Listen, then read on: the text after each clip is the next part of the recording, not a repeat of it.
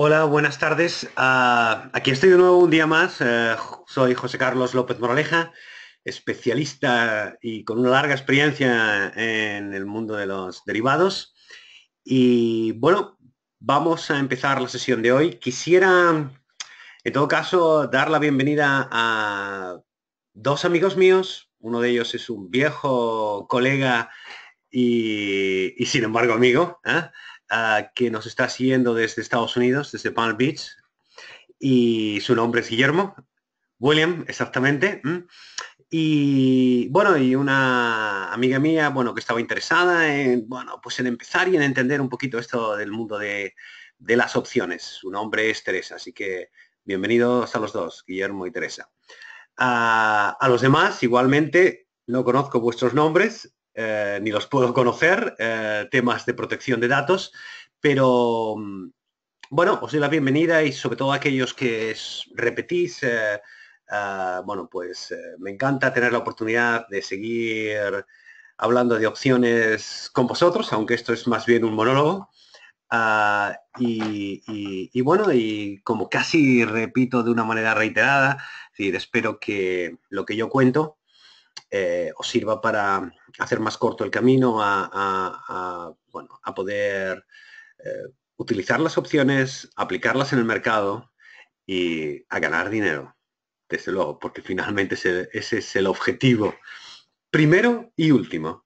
Ah, bien, una vez hecha esta introducción, ah, yo sé que ayer, no sé cuántos de ustedes eh, tuvieron la oportunidad de asistir a mi a este webinar, a esta especie de curso, seminario, a esta sesión ah, de, conocimientos, pero mm, les agradezco mucho. Yo sé que ayer, porque alguno así me lo ha hecho saber, fue una sesión muy compleja. Tocamos demasiadas cosas, no tuvimos la oportunidad de entrar eh, mucho en el detalle, eh, pero bueno, quiero decirles que, que la única manera un poco y en eso sí tengo experiencia de poderles hacer llegar mm, el significado de la potencia de las opciones y sobre todo de la parte del análisis previo que yo sugiero que, que, que, puedan hacer sobre todo a la hora de establecer un plan, pues eh, poco a poco y yo iré metiendo cosas nuevas, diferentes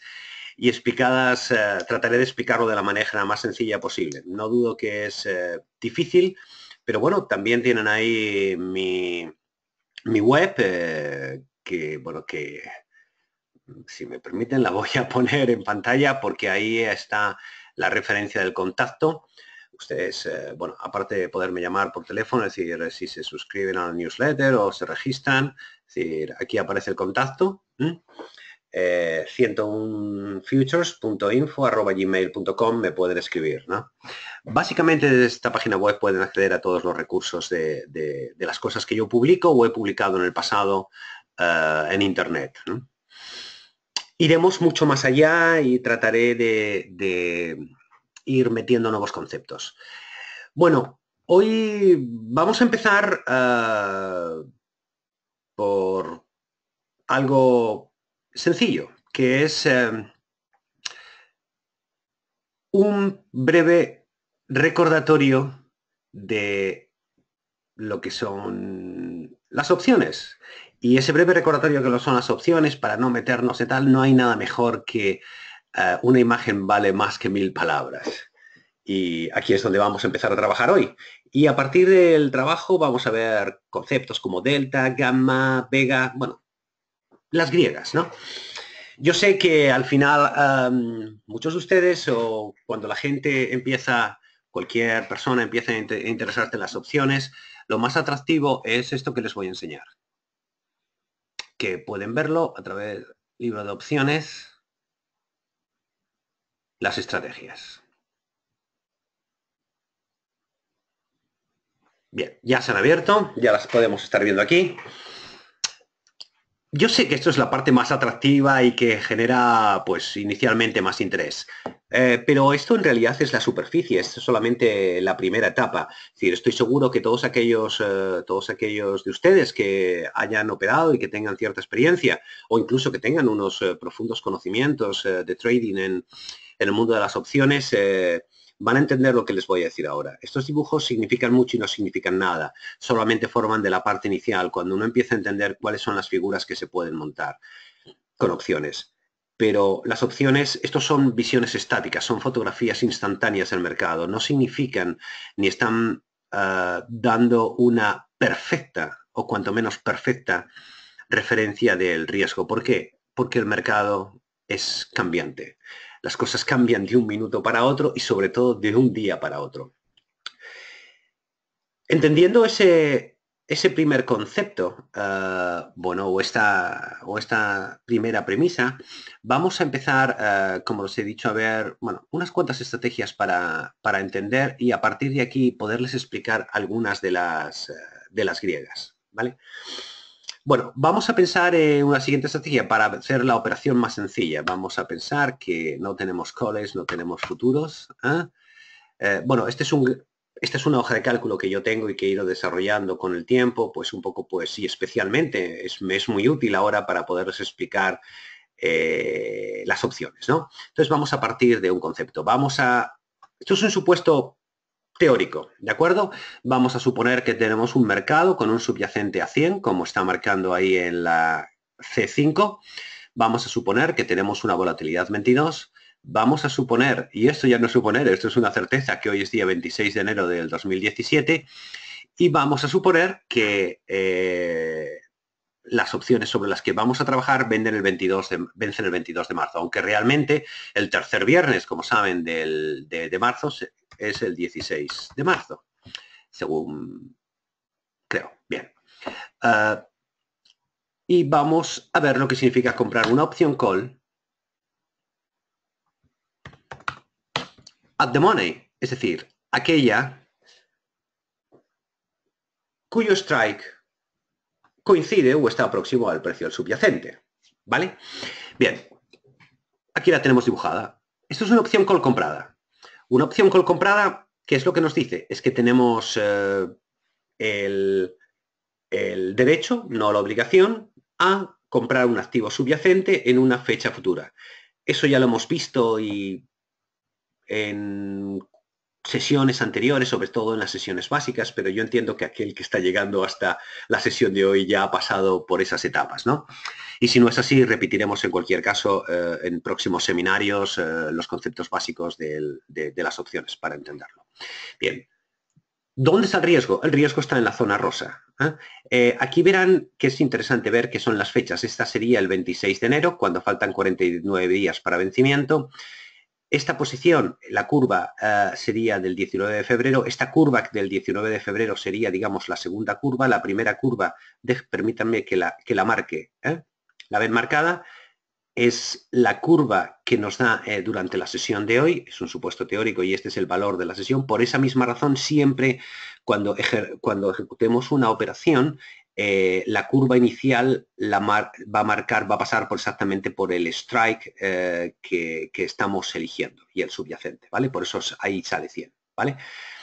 Eh, la segunda curva, que sería la verde, la que faltarían 25 días para vencimiento, es decir, con fecha 19 de febrero, nos estaría marcando aquí lo que es en la zona rosa, estaríamos viendo lo que es la zona de pérdidas y en la zona blanca la zona de beneficios. Lo que quiere decir es que si hoy el mercado se moviese con estas condiciones de volatilidad que estamos marcando, de volatilidad 22, con el mercado a 100, es decir, según se moviese el mercado eh, hacia arriba, obtendríamos estos beneficios. Es decir, en, esto es un concepto, un supuesto teórico.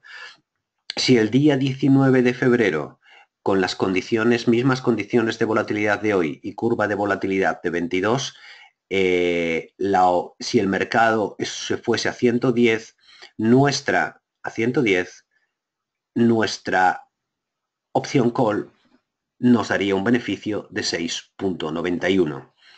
Si eh, en esa línea. ¿De acuerdo? Ah, si nos fuésemos a otra fecha, a la línea roja, nos está diciendo que el 28 de febrero, cuando faltan 16 días para vencimiento, eh, esta misma opción, la call 100, cuando el subyacente está a 100, esta sería la curva de rentabilidades positivas y negativas dependiendo de la condición del mercado. Donde aparece aquí SX estaría indicando, es decir, el nivel del mercado. Y para el nivel del mercado nos estaría dando exactamente las pérdidas posibles en el supuesto de estas condiciones de volatilidad y, bueno, y aquí dependiendo del nivel del subyacente. Y esto serían las situaciones de beneficio, con lo cual si el mercado estuviese a 110, el beneficio que obtendríamos el 16 de marzo del 2017 sería de 6,65. Verán qué es lo que ocurre. Verán que la curva se va haciendo más asintótica, se aproxima más a la curva de vencimiento.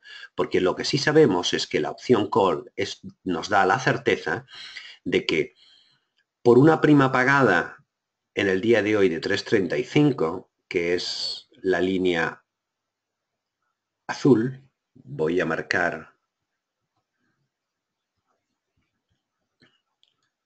por este precio de prima que de premium que pagamos, eh, el día del vencimiento, es decir, el 16 de marzo del 2017, vamos a recibir sí o sí, y ahí sí es independiente de las condiciones de volatilidad o cualquier otro tipo de conducción, vamos a recibir, bien, si el mercado está por debajo del nivel 100 hacia la izquierda, vamos a perder toda la prima que hemos pagado y si el mercado está por encima entre 100 y entre 103.35, que es el break-even, este sería el break-even de, nuestra posición, tendríamos una pérdida equivalente al nivel de liquidación Ah, del día del vencimiento, exactamente el día 16 de marzo del 2017, y si el mercado estuviese por encima del nivel del 103.35, es decir, 100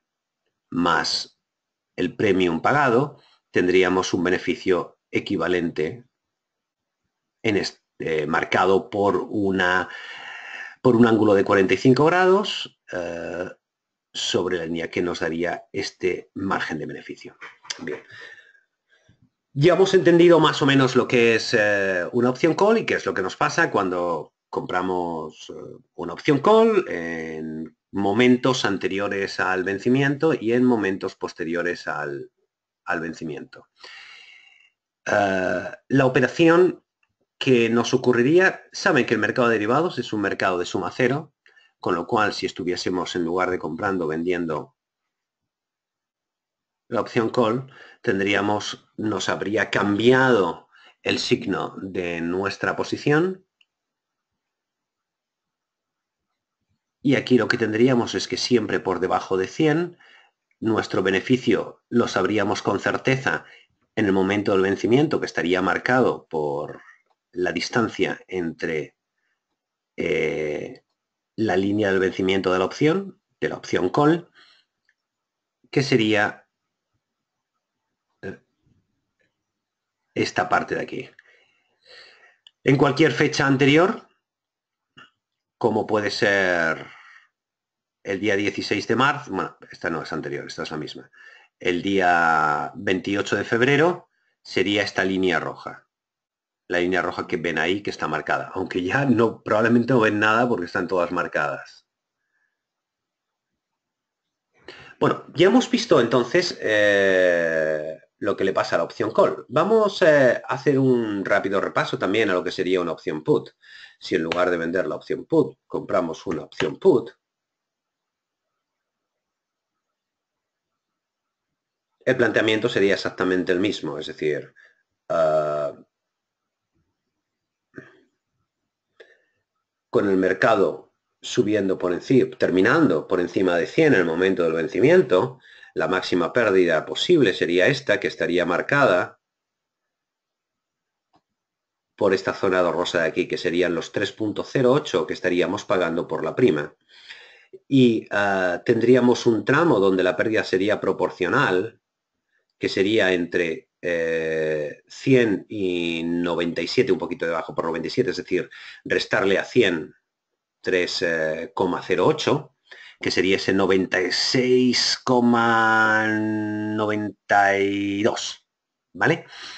Ah, vemos aquí 0,92, 1,92, 2,92, 3,92, 4,92, ahí ya sería la zona de beneficios, que sería exactamente la zona que triangulamos aquí por la caída del mercado. O sea, en la línea 90 estaríamos ganando 6,92, que más o menos estaríamos en este nivel. ¿De acuerdo? Bien, si ah, lo que hacemos es la operación inversa, como ya hemos explicado, es decir, en lugar de comprar la opción put, vendemos la opción put, el resultado sería exactamente inverso. Aquí estaríamos hablando de 3,08 de premio en ingresado, donde el máximo beneficio se partiría en este lugar en cualquier fecha anterior, como puede ser el 19 de febrero. Tendríamos que ir a la línea verde. Esa línea verde nos estaría indicando el P&L de las condiciones que tendríamos teóricas con las mismas condiciones de volatilidad, obviamente, porque si no, esta curva, según cambia la volatilidad, también eh, cambiaría. Ahora vamos a verlo, no en la parte gráfica, porque eso lo tengo en otra hoja que es más compleja y no quiero y no he querido, bueno, pues complicarles más la vida con, este tema. Pero bueno, sí es importante ver, es decir, que, que esa es la curva que nos daría el PNL, siempre en estas determinadas condiciones a 25 días de vencimiento. Bien, una vez dicho esto, vámonos un poco eh, a entender, es decir, cómo se va a mover el precio de la opción según se mueva el subyacente.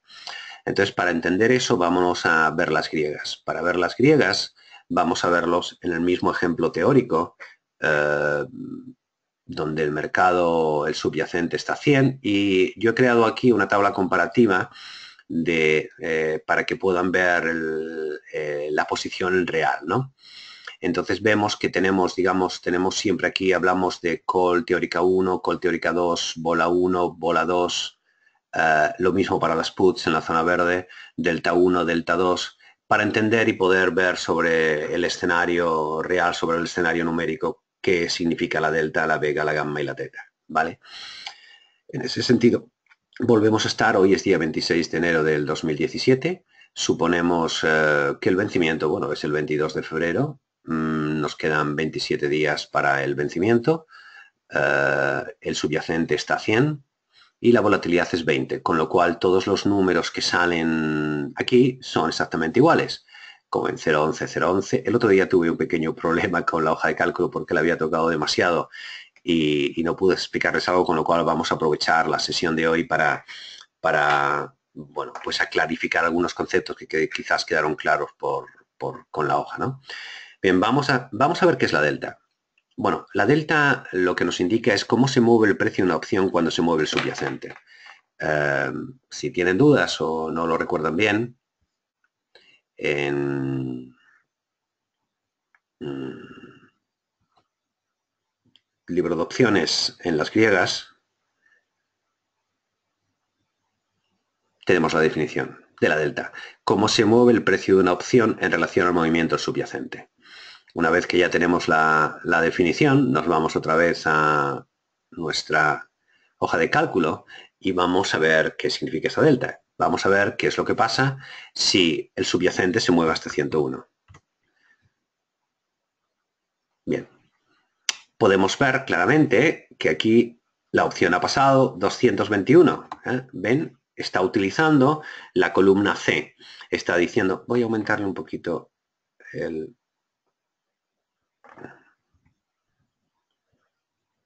para que lo vean más claramente.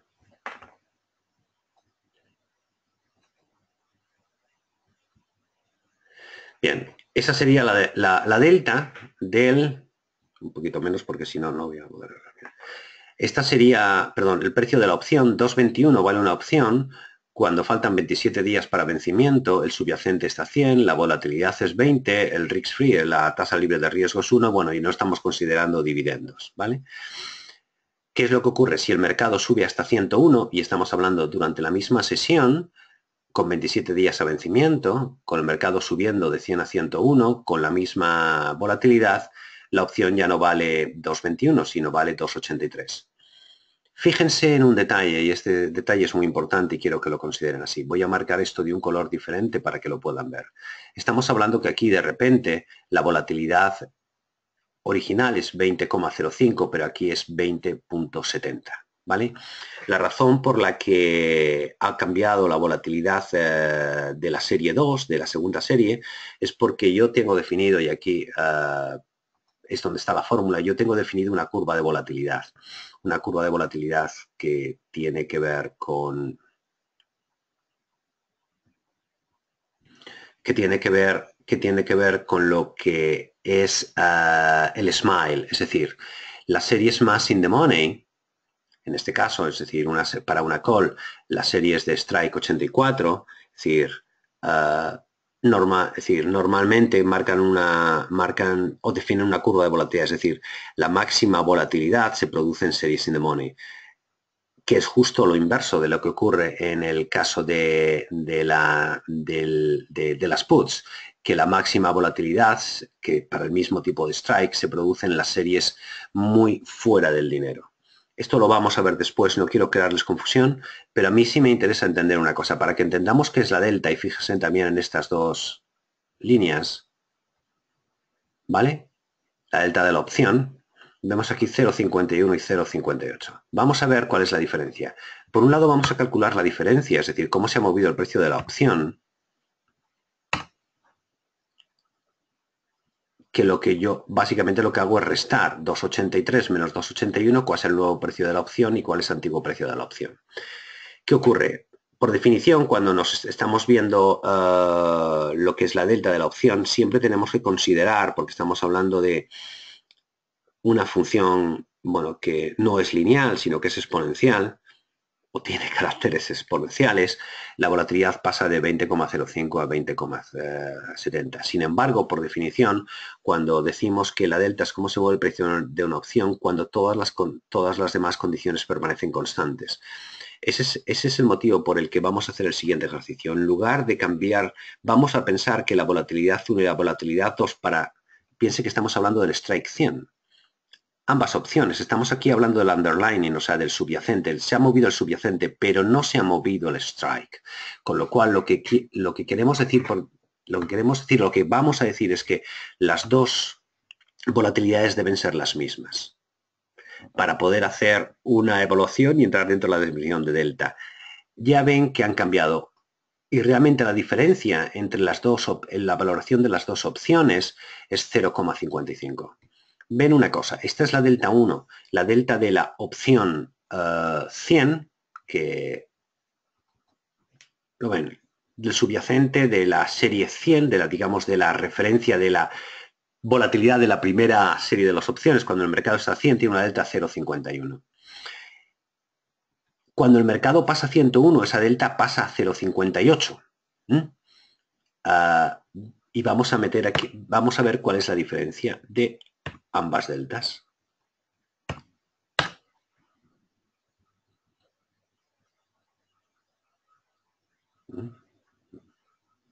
Vamos a ver.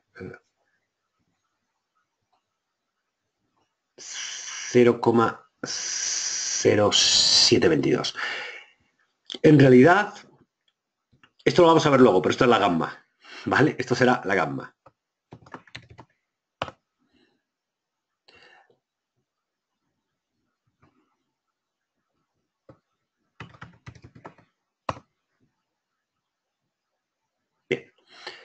¿Ves que es 55? ¿Qué es lo que ocurre entre 0,51 y 0,58? Que cuando el mercado se ha movido de 100 a 101, y les he dicho que las opciones no son lineales, ni las deltas son lineales, es decir, lo que tenemos de alguna manera sí podemos calcular el cambio medio de la delta. Por eso sí, metemos aquí un concepto que es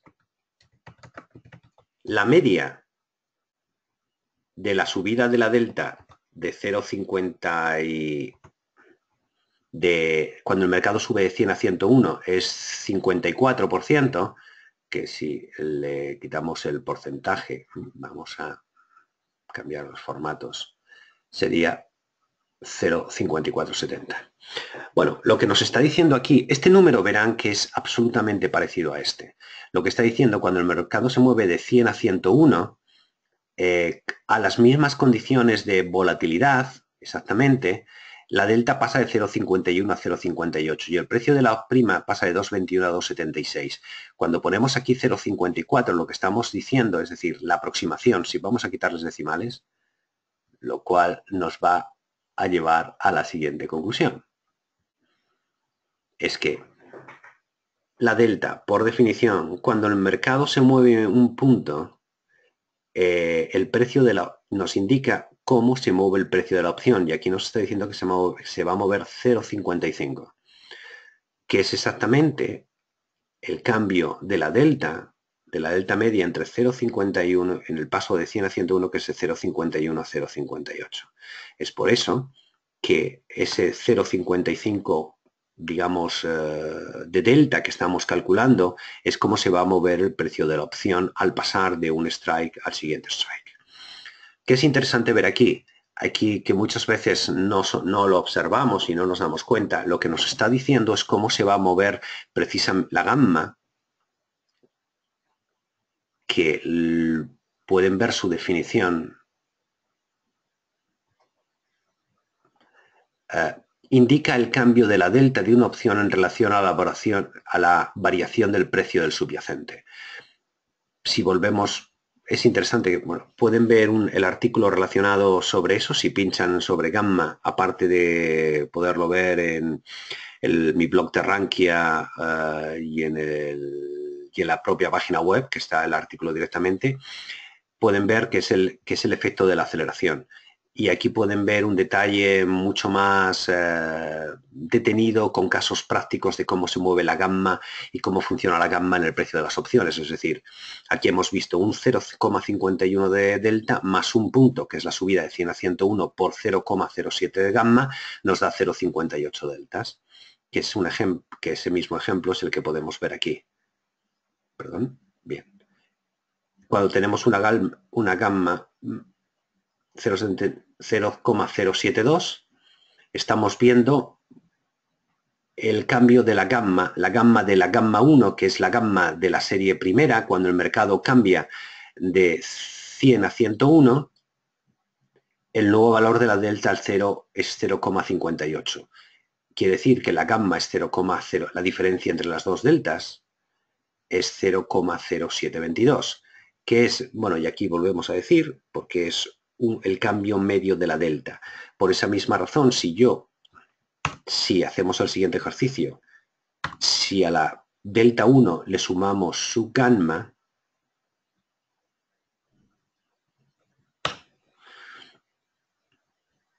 nos da la delta 2. Siempre existe una aproximación porque ya les he dicho que ni la delta, ni la gamma, ni la vega, ni la teta son funciones lineales. Entonces, en el cambio 100 a 101, es decir, nos da, utilizamos el tema del average, y para calcular el paso de una delta a otra delta y sumarle la gamma correspondiente, que es lo que nos está diciendo, es cómo se mueve la delta de una opción cuando se mueve un punto del subyacente. Ah, bueno, pues vemos que pasa de 0,51, si a 0,51 le sumamos eh, la gamma, en este caso 0,0731, nos daría 0,5841, que es muy aproximado al 0,5831 Estamos llevando hasta cuatro decimales para que ustedes vean la diferencia y que luego no se sorprendan cuando van al mercado y dicen es que no consigo exactamente la misma gama y tal. Bueno, pues porque no son funciones lineales y entonces hay una pequeña variación en, las en los últimos a partir del tercer, cuarto decimal, ¿no? Pero ya hemos entendido dos conceptos bastante interesantes, ¿vale? Eh, una vez que hemos visto esto, podremos, podríamos verlo al revés, ¿no? Si el mercado cayese. Aquí hemos pasado de 100 a 99 y vemos que la opción pasa de 2,21 a 1,73. Aquí vemos que la, delta por, diferencia, por la diferencia de los precios de la prima entre 2,21 y 1,73 ha caído el precio de la opción de 2.21 a 1.73, lo que está diciendo es que está cayendo un menos 0,48. Como hemos mantenido, y esto es muy importante, las mismas condiciones de volatilidad para las mismas series del mismo strike, ¿vale? Solamente hemos movido el precio del subyacente de 100 a 99. Tenemos una delta media en la caída entre 0,51 y 0,43 de 0,47, que verán que es aproximadamente este 0,48. Con lo cual, en realidad, lo que me está diciendo esto, que si a esta opción, al 2,21, le resto la delta media, tendré un precio de 1,74. Bueno, por aproximación estaríamos hablando exactamente del precio de la prima cuando el mercado cae de 100 a 99. Y volvemos a ver lo mismo.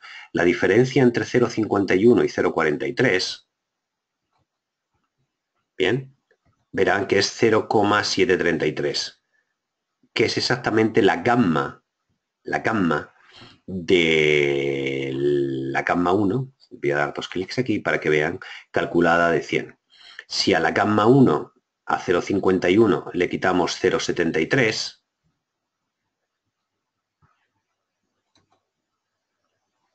en lugar de más es menos, nos da 0,4378. Bueno, otra vez por aproximación de decimales, contra la delta 2. Con lo cual ya vemos que de una de entrada podemos ver en, cualquier opción, y esto es extrapolable a cualquier strike y a cualquier nivel, ¿no? Podemos ver el comportamiento de las deltas y las gammas de, las opciones, es decir, cuánto valen las opciones. Por eso cuando tenemos una serie de money, aquella que coincide el precio de ejercicio con el precio del subyacente, veremos que manteniendo las mismas posiciones constantes con la información de delta, sabemos que si el mercado sube un punto, nuestra prima de la opción va a subir un punto, ¿vale? Manteniendo constantes las condiciones de volatilidad. Bien, una vez dicho eso, hay un aspecto muy interesante de analizar aquí. Voy a volver a las posiciones Una cosa muy interesante porque, bueno, eso sabemos lo que nos pasa en el mercado, pero una de las cosas que a mí me parecen que pueden dar lugar a equívoco es a entender cómo funcionan las deltas dependiendo de la volatilidad. Y vamos a ver un ejemplo, un ejemplo extremo para que vamos a ver que tenemos las mismas series con los mismos vencimientos, los mismos días y vamos a ver comparativa cómo se comporta la delta de las opciones ¿vale? En diferentes niveles de volatilidad. Bien, aquí tenemos dos casos. Para el caso 1 serían la, delta 1 para la delta 1. Cuando digo 1 eh, me refiero no a la primera delta, sino a la delta de la de, de, este caso, de este escenario, ¿no? Con volatilidades 20.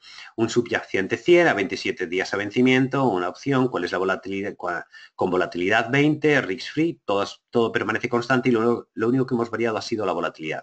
Hemos puesto, quiero que me dé la curva de, deltas para, para el caso de, de, una volatilidad 20 y otra para volatilidad 30. Bien.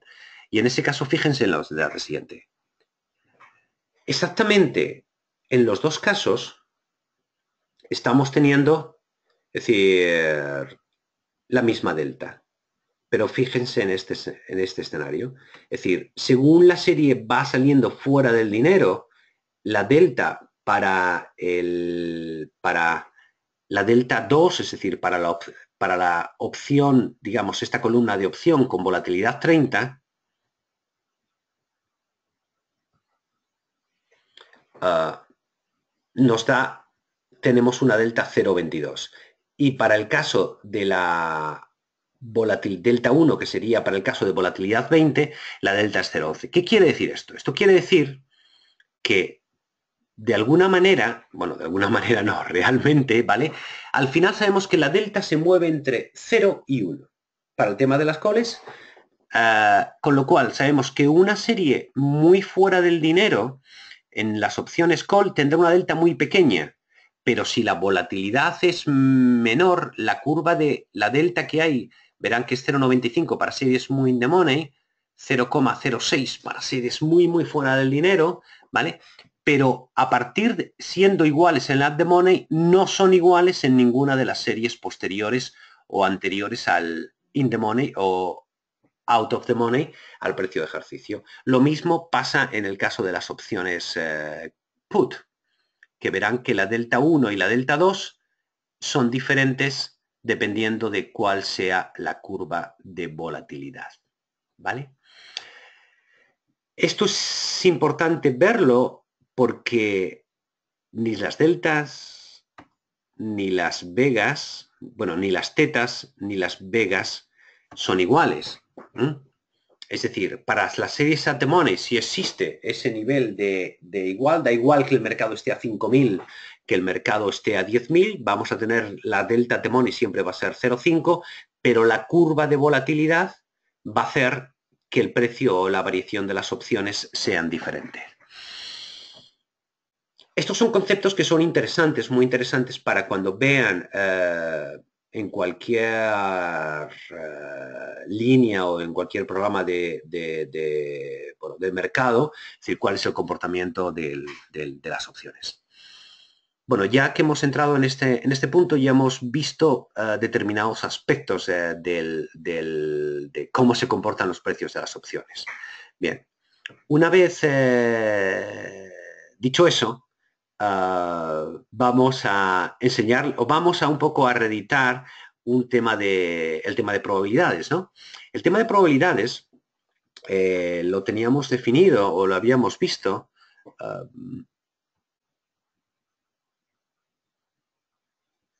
en...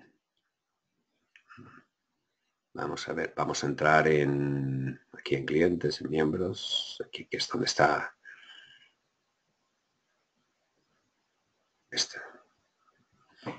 Es posible eh, que sea un poco pesado explicando esto, pero de verdad que esto es absolutamente esencial para que entiendan los conceptos de riesgo. En este artículo, eh, lo que yo trato de definir es qué es la volatilidad, ¿vale? Y permítanme eh, que hagamos una reflexión. Supongamos, en este, este ejemplo, es decir, hemos puesto volatilidad 24. ¿eh? Eh, aquí decimos, la probabilidad de que se repitan rentabilidades no es exactamente igual a la a volatilidad en este producto. Y en ningún caso eso garantiza nada, porque la garantía es exactamente cero. No solo eso, sí, sino que si la volatilidad en este producto es, digamos, 24 con un 68% de probabilidad, su rentabilidad estará entre más 24 y menos 24. Eso es definición de, de volatilidad. Eso es definición de desviación típica.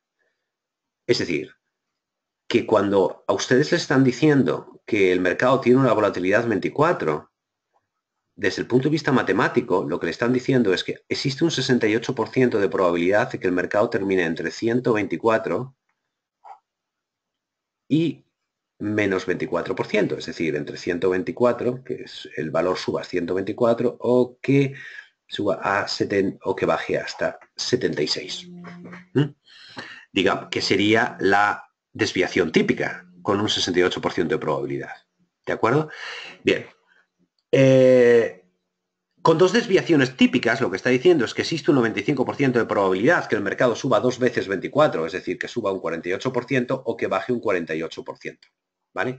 Una vez dicho eso, eh, lo que sí sabemos seguro es eh, lo siguiente.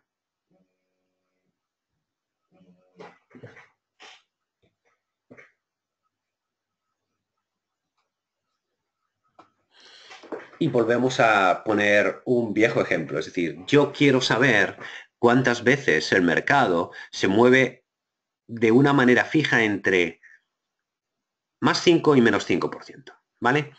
Les habíamos explicado en alguna de las ocasiones que el mercado, y yo he hecho un análisis comparativo simplemente, y les voy a volver a repetir, he segregado el mercado entre la parte negativa y la parte positiva, hemos definido las rentabilidades diarias, es decir, dime todos aquellos días de comportamiento negativo del mercado, dime, está en la fórmula que se puede ver arriba en, esta columna, dime, eh, me voy a hacer así, dime todas aquellas sesiones donde el mercado ha sido perdón, todas las sesiones semanales. He, comparado hoy con una semana anterior, mañana compararé con mañana con una semana anterior, es decir, estamos calculando todos los rolling periods para que lo vean más claramente. nos vamos a colocar aquí en la referencia donde tenemos los cálculos iniciales, ¿no? Y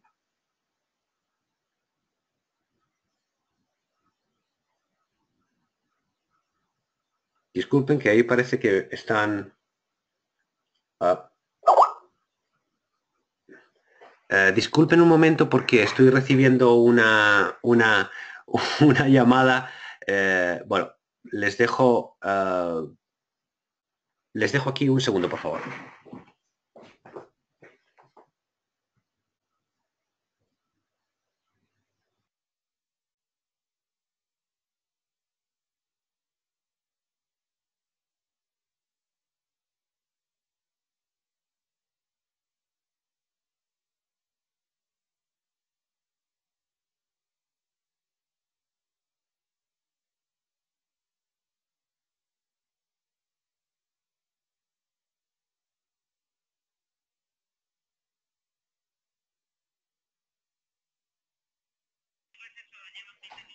Ah, vale. Ah, buenas tardes. Ah, tengo que pedirles disculpas.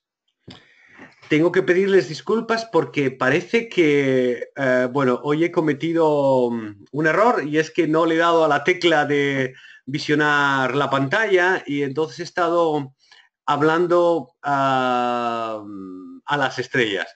Discúlpenme porque, porque lo siento muchísimo lo siento enormemente porque me lo están poniendo por el, por el chat y, y la verdad es que no le estaba prestando atención porque estaba tan concentrado en las explicaciones que me ha resultado imposible. Bueno, lo siento muchísimo porque deben llevar, bueno, un montón de tiempo. Bueno, lo siento, me, me disculpo. Bueno, Vamos a ver entonces, eh, vamos a volver un poco al concepto inicial, ¿no? No sé, la verdad es que si han tenido la oportunidad de... Mm, mm, mm, estoy confundido, ahora mismo estoy confundido. Bueno, ah, bien, señores, no, no pasa nada, no pasa nada. Vamos a repetir de una manera rápida, si les parece un poquito los últimos eh, conceptos. Gracias por la paciencia de todos aquellos que no se han descolgado y no se han quitado de, la emisión, ¿no? Ah, bien, vayamos al Excel porque el Excel es la parte divertida, ¿no? Mm. Ah, me temo entonces que todas las explicaciones que he hecho de delta, gamma, vega y teta no, se han podido seguirse, ¿no? Bien. Ah, bueno, vamos a continuar y, yo voy, lo que voy a hacer es, eh, con los conceptos que he explicado hoy, voy a volverlos a explicar la próxima sesión y el próximo día. Lo siento. Ah, estábamos en... Sí.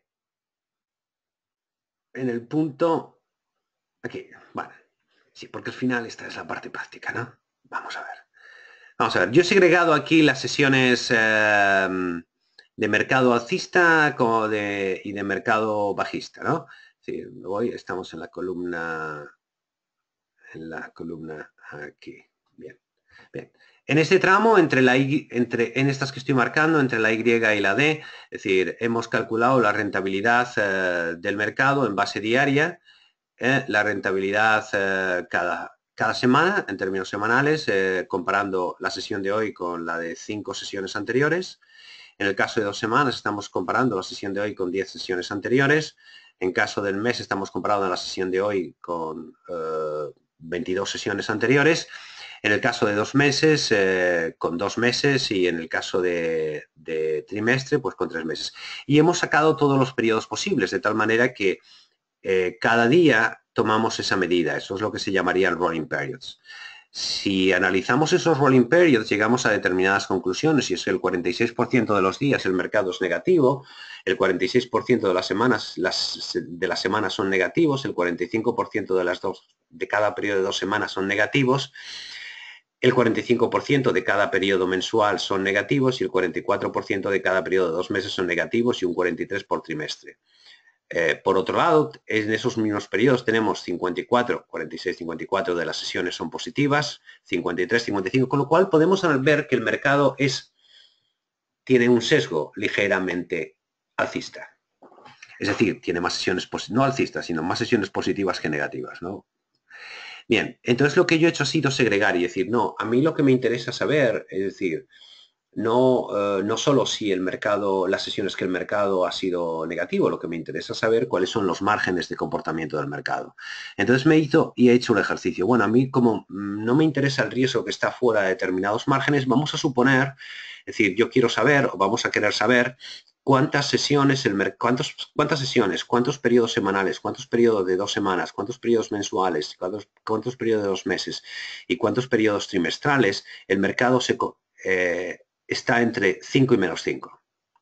Por ciento, por ejemplo, ¿no? Y vemos lo siguiente, el 99% de las sesiones el mercado está entre 5 y menos 5%.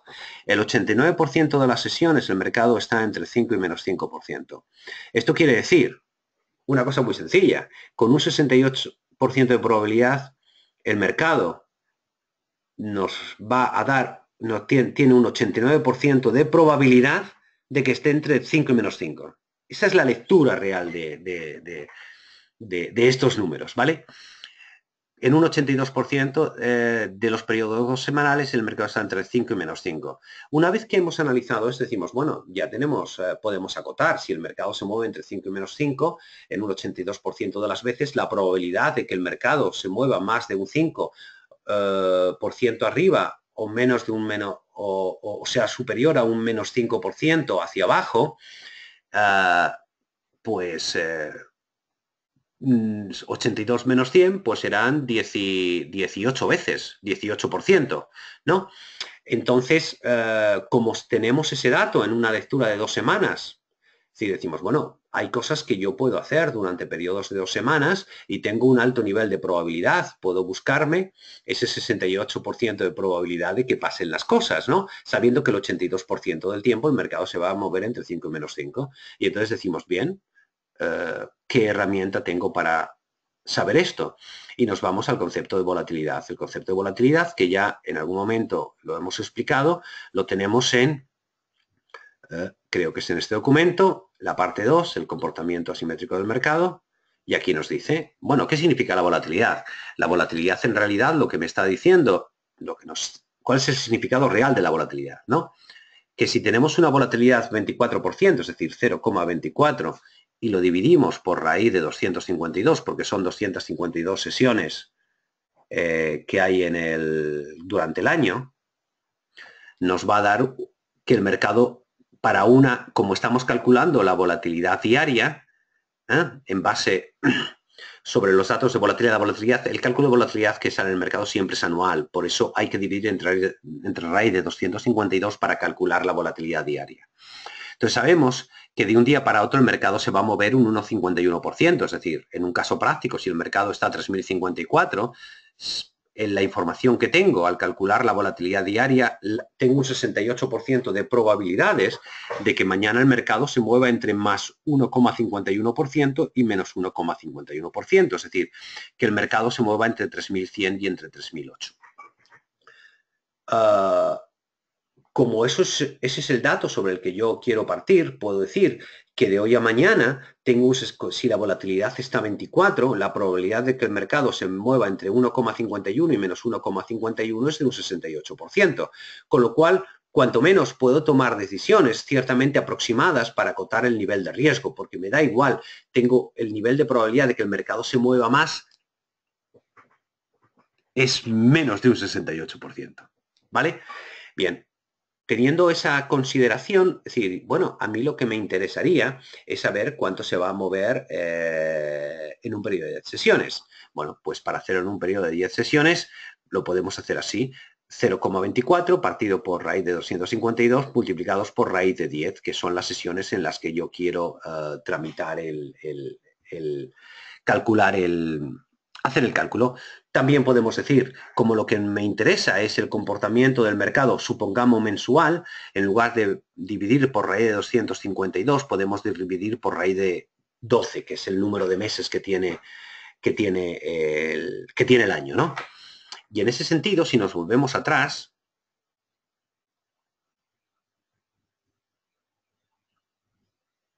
nos vamos a ir aquí para aplicar el caso práctico.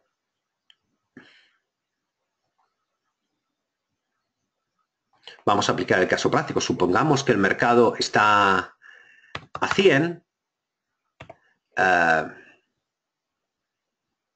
la volatilidad es 24. Bueno, vamos a utilizar esta volatilidad, 22%.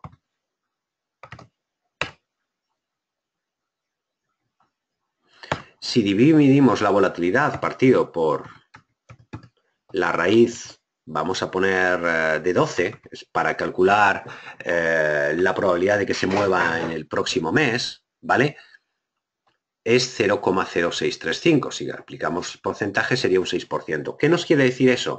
Esto nos quiere decir que si lo que si yo ven, si vendemos la call 106 ingresaremos 0 eh, 53 de premium, porque estas son las condiciones eh, del mercado, y lo que me está diciendo es que con un 68% de probabilidad el mercado no va a superar el próximo mes el nivel 106. Con lo cual, lo que, perdón, estoy vendiendo la call y estoy comprando el futuro, y lo que yo quiero hacer es esto, es vender tan solo la call. ¿vale? Bien, estamos vendiendo la call 106, con lo cual, lo que estamos diciendo es que si vendemos la call 106, tenemos un 68% de probabilidad de que el mercado no supere el 6, el 6%, cuando la volatilidad está a 22. No digo que esto funcione de una manera perfecta porque no funciona exactamente, es decir, habrá veces que el mercado supere este nivel, eh, pero sí es cierto que eh, si nos vamos un poco a la parte gráfica, perdón, a la parte, a los cálculos, hemos dicho que en un 66% del tiempo, para el caso mensual, porque hemos eh, tomado la volatilidad mensual, sabemos que el mercado se mueve entre 5 y menos 5, independientemente de las condiciones de volatilidad. Si somos capaces de extrapolar esta situación a un cálculo diario del mercado, podríamos encontrarnos, o nos vamos a encontrar.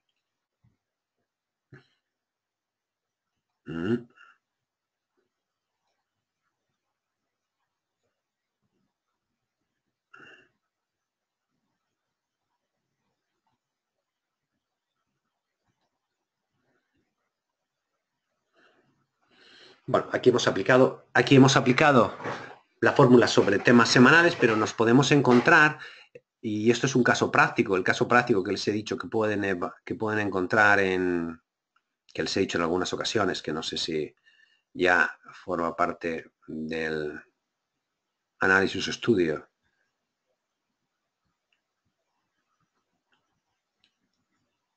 En el blog del que pueden acceder desde eh, la página de futuros, aquí en Blogs Más, ven blog J. Carlos López. Si entran ahí, ven un análisis cuantitativo de la aplicación sistemática de venta de opción call utilizando el criterio de volatilidad. Es decir, de alejarme, estar más cerca o más próximo al riesgo del mercado en base a criterios de volatilidad. ¿Por qué sale eso por qué surge esto? Esto surge porque cuando hacemos un análisis del comportamiento de la volatilidad, hemos descubierto, no hemos descubierto, es una realidad, ¿no? Es decir, la probabilidad de que el mercado se mueva o se comporte o entre dentro de unos determinados márgenes. Para llegar a esa, para llegar a esa, a esa conclusión, lo que nosotros, lo que, eh, lo que hemos tratado de hacer, eh, lo que he tratado de hacer es hacer un análisis cuantitativo de cómo se comporta el mercado en los diferentes tramos de volatilidad. Disculpen porque está haciendo, salvando.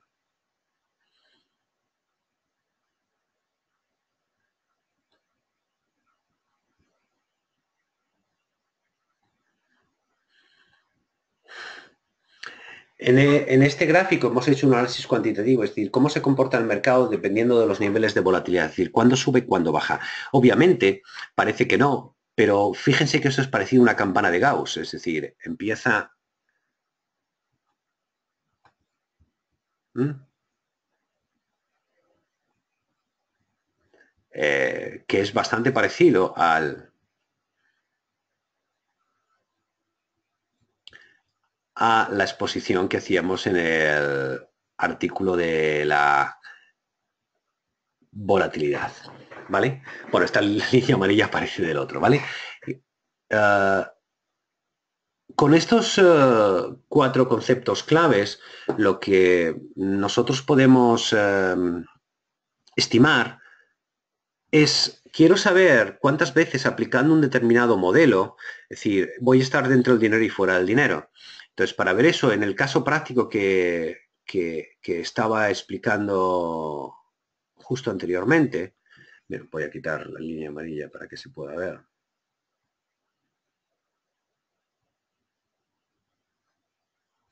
Bien. Un instante. Estoy absolutamente consternado de, que no hayan podido estar viendo lo que yo les estaba explicando de deltas, gammas y, todo eso, ¿no? Pero bueno, lo, volveremos a ver.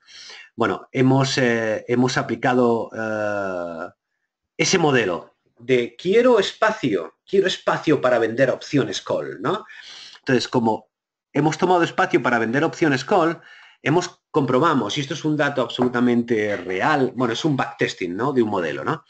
Eh, calculado un modelo real sobre el Eurostox 50 eh, desde el 30 de junio de 1998 hasta la fecha actual, es decir, más de 18 años, sobre 4.664 sesiones posibles, solo en 309 casos, es decir, en un 6,6% de las veces de las sesiones el mercado ha estado in the money, es decir, sobre lo que estamos viendo aquí, el mercado ha estado, ha estado por encima de este nivel, del nivel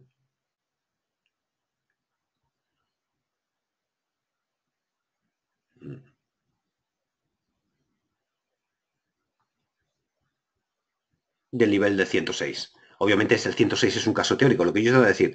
Como a mí me da igual lo que haga el mercado por encima de 106, porque tengo un 68% de probabilidad de que el mercado no se mueva por encima de 106, porque eso me lo está diciendo la volatilidad durante el próximo mes, en base en datos estadísticos de todos los periodos mensuales posibles desde los últimos 18 años, tengo una variable de riesgo bien definida y que desde luego que puedo decir, eh, yo sé, sabemos y aquí es donde entramos dentro del mundo del,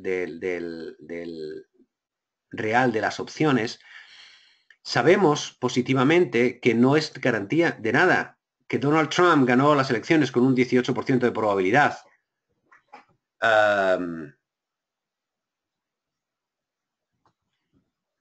es decir, no es, una, no es cierto que siempre vaya a estar fuera el dinero, que elimine todos los riesgos, pero sí es cierto que solo son 309 sesiones, es decir, un 93,4% del tiempo mi serie está fuera del dinero, es decir, no llega mm, el precio del mercado utilizando el mismo criterio, es decir, dividiendo, bueno, en este caso hemos utilizado un periodo, un de dos semanas, pero da igual semanal, dos semanas, dos meses, eso lo pueden hacer de una manera eh, muy sencilla.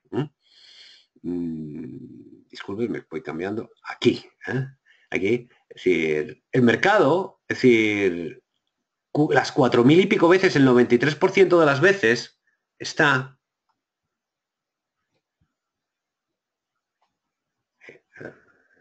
estoy cambiando de aquí. El mercado está en esta zona de aquí. Es decir, nunca va a superar el nivel del 106. Bueno, si ya tenemos un elemento de juicio para tomar decisiones eh, dentro del mercado, ya hemos acotado bastante nuestro riesgo. No es que no lo tengamos, es que lo hemos acotado, ¿vale? Entonces, mm,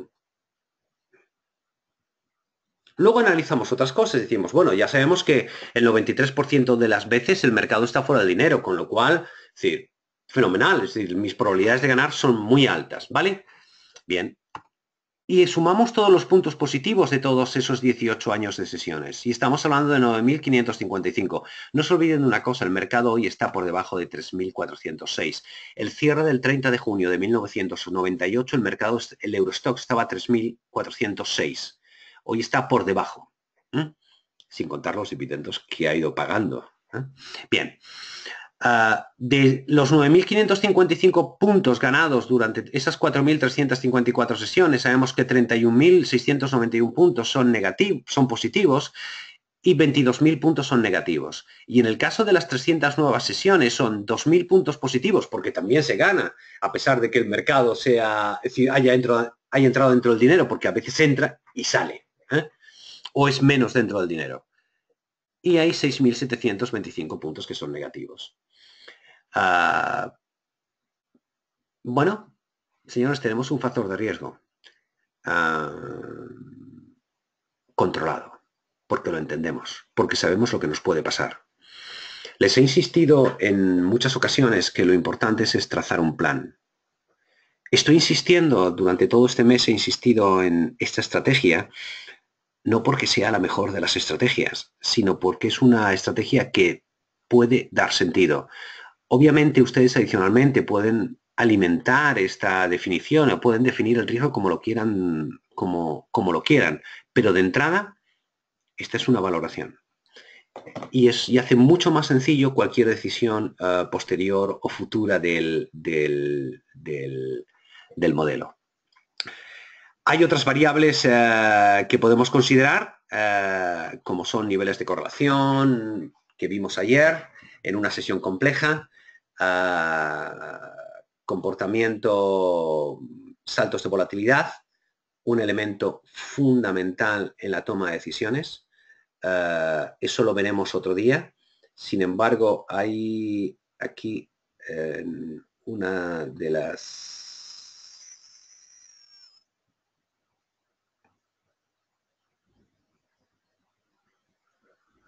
Bueno, estos, esto es, eh, son datos de volatilidad, eh, de frecuencia de volatilidad.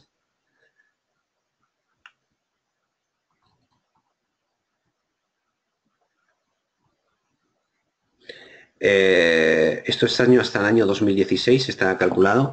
Es decir, esto, este gráfico que ven aquí, que un día vamos a explicar con detenimiento, nos dice em, ¿En qué niveles? Esta sería, es un gráfico de frecuencia de volatilidad. Esto, es, esto sería los niveles de volatilidad, ¿vale? Y esto sería el comportamiento de ese año de la volatilidad. Verán que eh, en cada año hay un valor medio donde la volatilidad es mayor y estos serían los valores extremos. ¿no? Si se dan cuenta y fíjense en los datos de rentabilidad que aparecen aquí, en el año 1995 el mercado subió, bueno, es que esto lo tengo desde el año 1995, eh, subió un 34,2%, ¿vale? Y ven que las volatilidades son bajas. Subió en el 96 un 20,3% y las volatilidades son bajas. Cuando los años son malos, fíjense que los datos, los ratios de movimiento de volatilidad son mayores, ¿no? Y si nos vamos al año 2001, 2002, eh, que esa fue la época de la crisis vemos una subida de la volatilidad. Y fíjense en esto, año 2005, 2006, 2007, es decir, eh, hasta el año 2007, es decir, los la volatilidad era baja. Cuando en el año 2008 empieza el periodo, el periodo de crisis, ¿vale? Vemos unos rangos de volatilidad brutales. ¿eh? Eso quiere decir, eso, eh, bueno, este es el SP, perdón, ¿eh? este no es el Eurostox, este es el SP500, es un gráfico de frecuencia del SP500, ¿vale? Pero bueno, es bastante similar al Eurostox, ¿vale?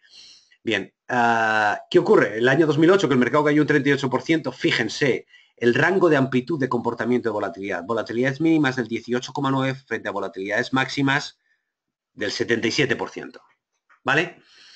Ah, mercado alcista, se estrecha el rango, son volatilidades altas, pero todavía permanece. Estos son, digamos, 2000, bueno, estos son los, el periodo de crisis. Si nos vamos, yo creo que está aquí el Eurex. aquí tengo el Eurex. Aquí se ve en el Eurex, se ve el mercado 2008 que hay un 44%. ¿eh? Ven cómo se distribuye la volatilidad. Y si ven, permítanme, aunque no está aquí muy claro. Si ven esto, ven los años rojos, ¿eh? Que serían volatilidades, el mercado marca unos rangos y unos spreads de volatilidad mucho más altos, mucho más amplios, ¿no? Los años más o menos buenos, bueno, la volatilidad es más baja, se mueve, pero también es verdad que se estrecha el margen, no hay tantos saltos de volatilidad, aunque los hay, los puede haber, ¿no? De hecho, en el año 2016, eh, es decir, bueno, el mercado fue bajista, bueno, aquí están tomados 197 sesiones, ¿no? Pero Pero hay mucha, una, relación intrínseca muy cercana eh, a la amplitud del rango del movimiento de la volatilidad con el riesgo o con la caída del mercado cada uno de los años. Ah, verán que yo insisto constantemente y que tengo un montón de research vinculados a temas de volatilidad y comportamiento de la volatilidad. Bueno, esta es la historia de mi vida profesional, ¿no? Analizar modelos y tratar de buscar ah, situaciones o comportamientos atípicos del mercado que me, me permitan elaborar eh, criterios racionales o modelos de toma de decisiones, ¿no? Esas son las opciones. Les he hablado muchas veces que el mercado es eh, trabajar con el mercado de derivados es pensamiento lateral y no importa si el mercado sube o baja, a mí lo que me interesa es cuál es el efecto de la volatilidad en mi posición, cuál es el efecto del movimiento subyacente en mi posición. No me interesa adivinar si el Santander, solo los stocks, eh, va a subir o a bajar, me da igual. Lo que quiero saber es cuánto va a subir o cuál es la probabilidad de que el mercado suba o cuál es la probabilidad de que el mercado baja. Y con eso se puede ganar dinero. Mm, muchísimas gracias. Disculpen, disculpen, disculpen el error eh, de haber visto una pantalla estática durante todo el proceso.